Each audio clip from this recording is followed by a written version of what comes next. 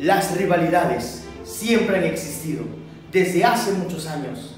Ejemplos son Caín y Abel, David y Goliat. Pero actualmente entre los famosos también pasa. Tal es el caso de Carlos Trejo y Alfredo Adam. El pasado 10 de julio, durante una conferencia de prensa, Carlos Trejo lanzó una botella de agua a Alfredo Adame. Ambos se iban a enfrentar a principios de agosto en un combate de artes marciales. Sin embargo, debido al botellazo, Adame resultó herido y la pelea se tuvo que posponer hasta nuevo aviso. Pero, ¿cómo inició este conflicto entre el conductor y el cazafantasmas que ha durado más de 15 años? Alfredo Adame era conocido por participar en telenovelas y películas, pero fue en 1998 cuando se le presentó la oportunidad de conducir un nuevo programa matutino a través del canal de las estrellas llamado Hoy.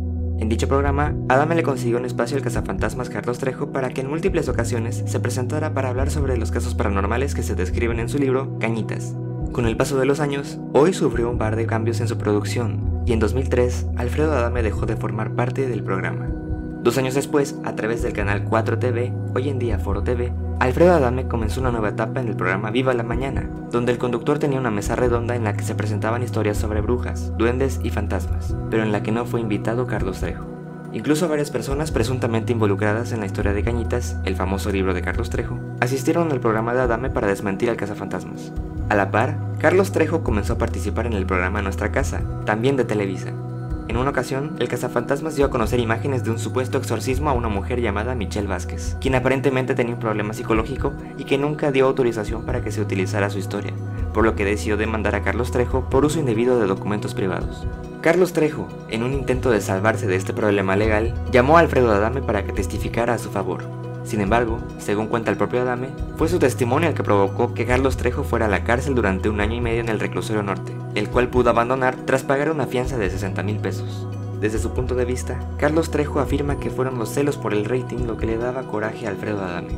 Según Trejo, fue tanto el odio por parte de Adame que incluso el conductor orquestó un atentado contra el cazafantasmas, en el que supuestamente murió un joven de 20 años que era hermano de su secretaria. Pasaron los años, entre muchos dimes y diretes e incluso amenazas, en octubre de 2018, Alfredo Adame y su entonces pareja, Susan Quintana, terminaron su relación de dos meses. El cazafantasmas apoyó a Quintana en su decisión de terminar con Adame, lo cual evidentemente no fue del agrado del actor. Después, en abril de este año, Carlos Trejo publicó una imagen del hijo de Alfredo Adame, en donde se veía al joven posando junto a su pareja. Ahí, Trejo escribió un mensaje en el que dijo que la preferencia sexual del muchacho era el motivo por el que Alfredo Adame no lo quería, y la razón por la que se había distanciado de él.